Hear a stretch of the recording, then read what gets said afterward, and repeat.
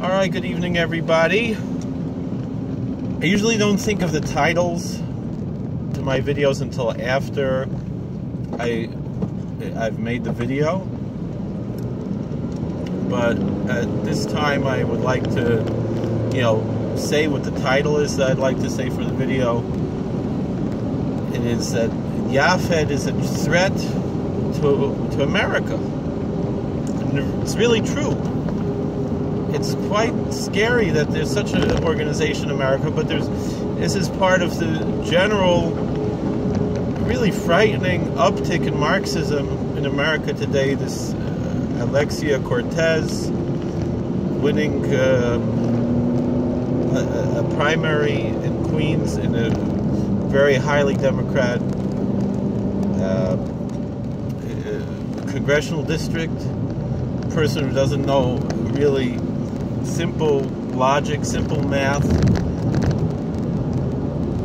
uh, has has no, you know, to, to say something so stupid that to say that, that the reason why the the unemployment level is low is because people have two or three jobs. It, it, that's that's not how any of this works. Like I, I don't understand how a person like this could even get in the ballot. You know, unless again I mean, because it takes a lot of money to get onto a ballot like this, especially in New York City. Obviously, obviously, George Soros is funding this, or other people like him. It's it's just frightening. And the same thing I would say with YAFFED. Most likely, I believe this is a Soros-funded project to undermine not only it's not an attack just on the Hasidic community. It's an attack on all religious people and really all liberty-loving people. You could be an atheist libertarian and this is a threat to you as well, what the YAFFED is trying to do. You know? And it's really a threat to the foundations of America. And that's why this is so frightening that this is happening now. Now, the stupidity, you know, it's hard to, to fathom whether it's. I don't believe anyone is that stupid as this lawsuit that YAFFED is making against the state of New York. So it, it must be just sure, pure evil. You know, um, the, the, so what's happening now? This this monster, monster, monster is um, trying to sue the state of New York. Um, because he doesn't like the way the yeshivas operate. And he says, you know, they're illegal and they have to be forced. And, and why isn't New York stepping up and doing their job and enforcing the law? Now, I'm going to answer why this lawsuit is totally idiotic.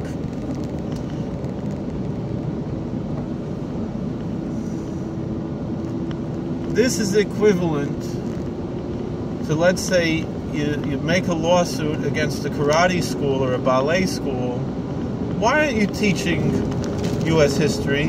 Why aren't you teaching biology? Why, why aren't you teaching calculus? Well, well, this is a karate school. We, we, we teach karate. This is uh, this is a now. Let, let's put it into perspective there are different types of yeshivas, different types of Jewish parochial schools. Some schools meet the basic legal requirement for elementary school. Uh, almost all of the elementary schools meet the basic requirement except for a certain Chabad schools. All the Satmar, everybody, they all teach the basic requirements for elementary school both for the boys and for the girls, except the girls get more than the basic requirements, and the boys just get the basic requirements. In the high schools, usually the girls get more, but still they don't generally get the regents, especially in the more cloistered Hasidic schools. And the boy, uh, although they get a full, vibrant uh, secular curriculum, and many of the boys' schools, mostly the Hasidic schools, but also some of the non-Hasidic schools as well, don't offer any English, or some offer some basic English, Um, when I say English, I mean secular studies, but not enough for a regents, and some offer a regents diploma.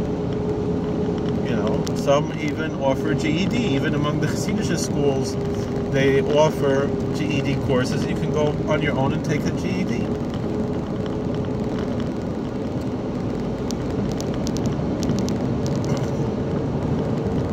And all this being said,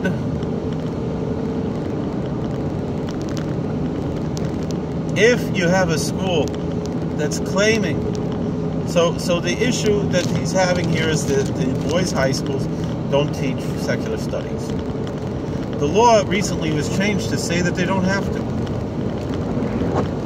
But really the fact of the matter is is these schools are under no obligation to to teach any type of curriculum any more than a karate school has any obligation to teach anything other than karate. A Jewish parochial school that's advertising, we only, they're not even advertising, they don't need to advertise, they have their students.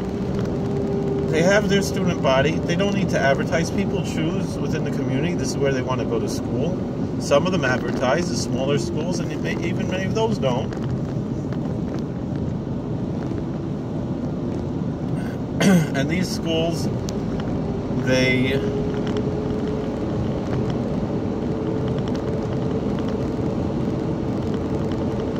they teach all these ideas and whatever.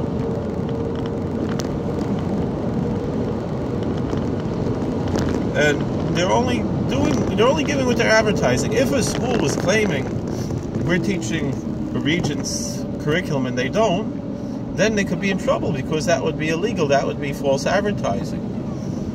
But the, the boys' high schools that don't teach any secular studies don't receive funding from the school districts in the way that the schools that do teach English do.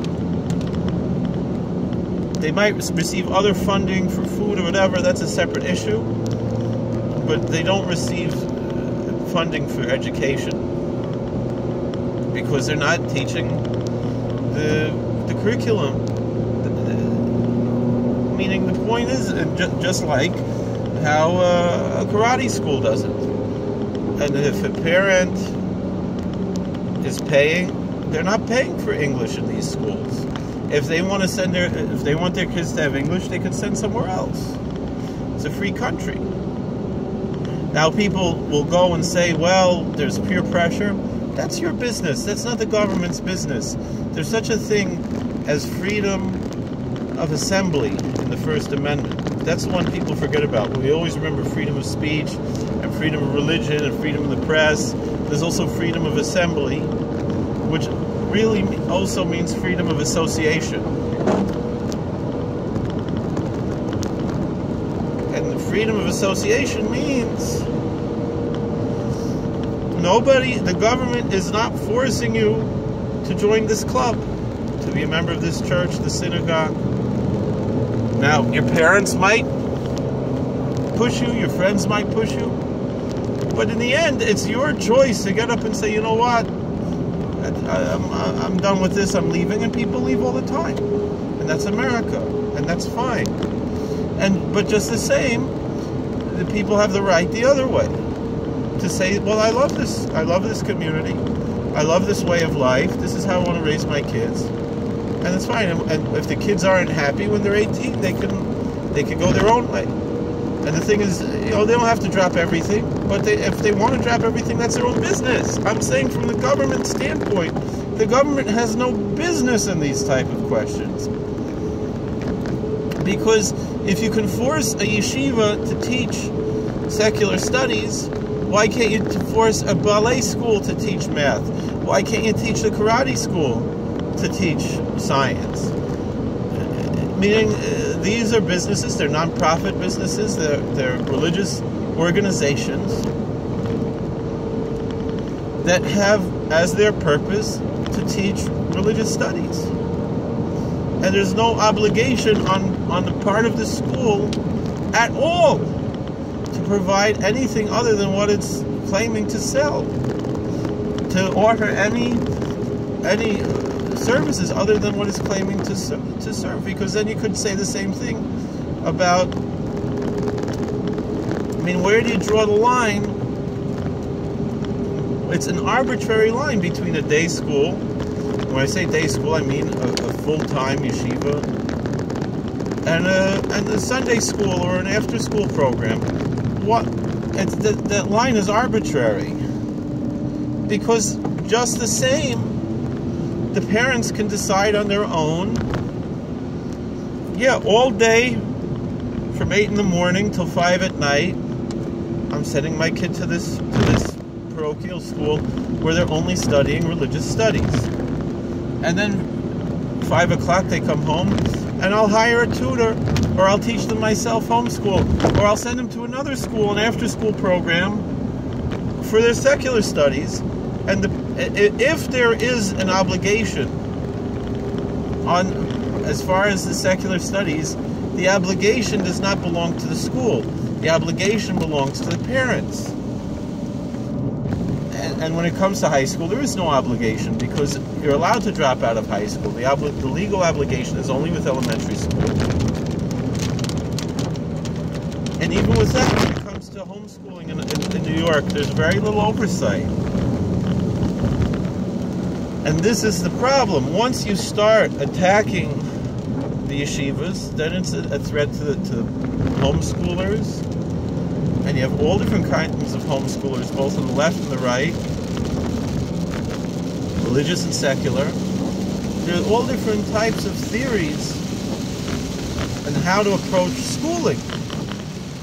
And it's the parents who can make the choice of how to educate their children. It's not only about yeshivas. This is the point that we have to remember. It's not just about the yeshivas. And the fact of the matter is, is that it's going to lead to slippery slope. Because if you force a lot of, you know, I, I there was one of these um, rallies against the yeshivas, and they were talking about, you know, oh, the yeshivas, they're, they're not teaching gay studies. They're not teaching sex education. They're not teaching this. They're not teaching that. Well, it's not just the yeshivas. It's a, a lot of the private parochial schools have different ideas about what, what what's appropriate for kids to learn and what's not. Different ideas, different things that they teach. So why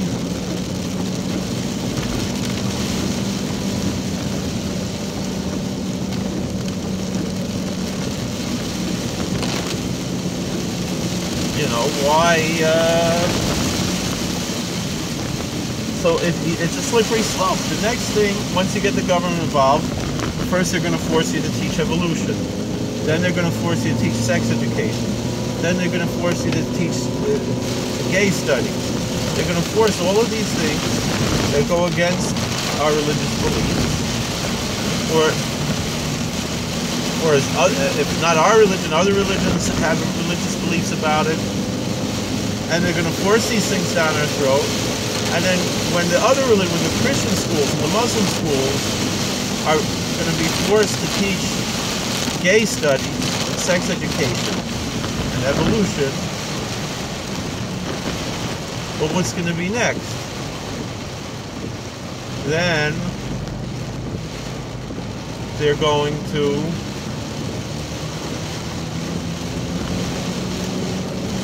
they're going to be forced to all these things, right?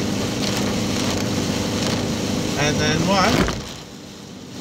And then who are they going to blame? They're going to blame the Jews. And they'll be right. Because it's, it's these self-hating Jews like Naftali Moster who are now making the problems for the Christians and the Muslims because they opened that can of worms. But then it's, it's more than that because then it's not just the the religious schools. It's even the the after school programs. How dare you call yourself a karate school? You know, or a ballet school or an art school.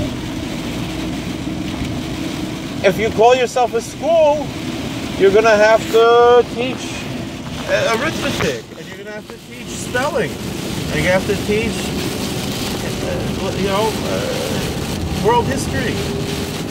Where do you draw the line? And so it's a frivolous lawsuit, and you're not going to attack each and every parent who, who has a different approach to their, uh, you know, to their uh, way of teaching. So this, this, for this reason, groups like PEARLS and everything should really team up with, first of all, the other religions, and second of all, the homeschoolers, and really, third of all, all of the different types of schools that exist. Because these attacks on the yeshivas are frivolous, are silly, are nonsense. And uh, the unfortunate thing is we have a lot of crazy judges who legislate from the bench and who might be pushing an unconstitutional way. And so this is why it's so important that we have constitutional judges who follow the Constitution and who are not legislating from the bench. Because it, it's, it's out of control. It's ridiculous. Thank you for watching. God bless. Please like, share, subscribe, comment, and, uh, and, and, and let me know what you think about what do I have to say about this? Is it wrong to, to, to compare a yeshiva that doesn't claim to teach English with uh, uh, any other school, a karate school that doesn't claim to, to be teaching math, you know? That's just the way it is. And it's, and it's really an attack on the communities. It's an attack on our way of life. It's an attack on our culture. And, and just like there are attacks on other cultures and it's already been found in the Supreme Court that the Amish are allowed to raise their kids the way they want. And so too, if you're Hindu or Sikh or Buddhist or Jewish or Christian or Muslim or atheist, it's up to you as a parent to decide, not up to the schools. And if Naftali Moster wants to send his kids to other schools, nobody's forcing him to send his kids to the same schools he went to. And incidentally, among the Hasidic schools, he went to Bell's. Belz has a lot more, a lot stronger English program than a lot of other schools. So all of his complaints are, are, are nonsense, are just his attacks on the community and not authentic care. Uh, uh, uh, and, and also a power grab, a Marxist power grab. And I, I wouldn't be surprised if George Soros is behind this. Thank you for watching. God bless. Please like, share, subscribe, comment, and um, and, and let me know what, what else, what other ideas you have.